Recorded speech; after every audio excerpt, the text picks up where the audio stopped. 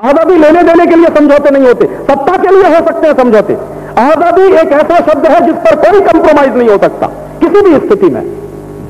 कोई समझौता नहीं हो सकता उसके ऊपर।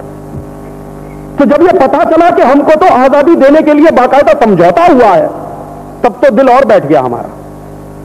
क्यों समझौता क्या देखना चाहिए पता करना चाहिए। तो वो समझौता भी यहाँ नहीं है, वो लंदन में पड़ा हुआ है और उस दिशा में हम लोगों ने उस दिन से कोशिश शुरू की है कि पता तो करें कि वो झूठ क्या है। तो पूरी बात तो अभी पता नहीं चल रही है। क्योंकि वहाँ भी ब्रिटेन की पार्लियामेंट में भी आसानी से चीज़ें मिलती नहीं है।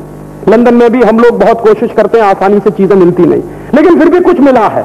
जो मिला है उसी को आपसे कहने वाला हो। सकता है इस बात के लिए मुझे किसी दिन जेल हो जाए।